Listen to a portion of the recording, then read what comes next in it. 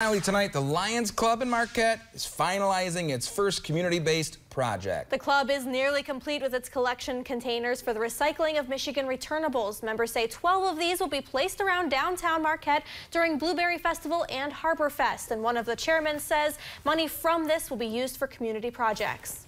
It process right now with the city of Marquette to renovate a small park in South Marquette, um, bring it back to a useful place to be.